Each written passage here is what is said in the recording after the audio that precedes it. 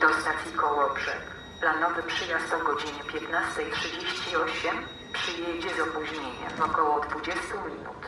Opóźnienie może ulec zmianie. Prosimy o zwracanie uwagi na komunikaty.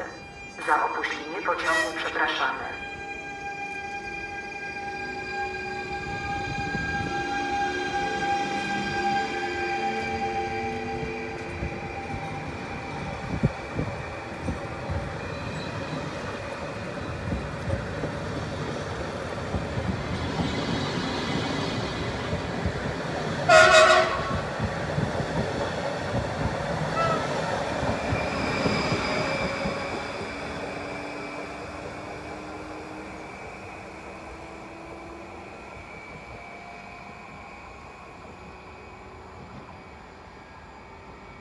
Przy peronie drugim.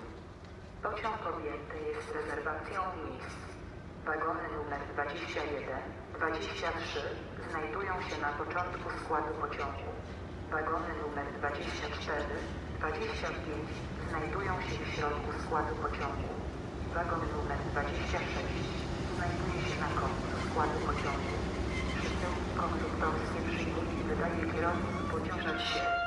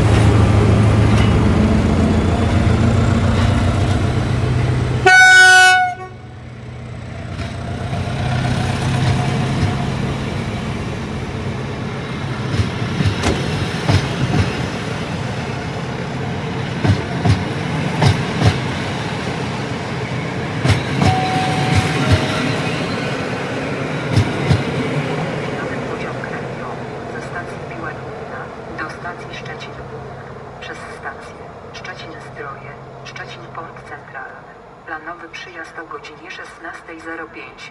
Wjedzie na tor pierwszy, przy peronie drugim.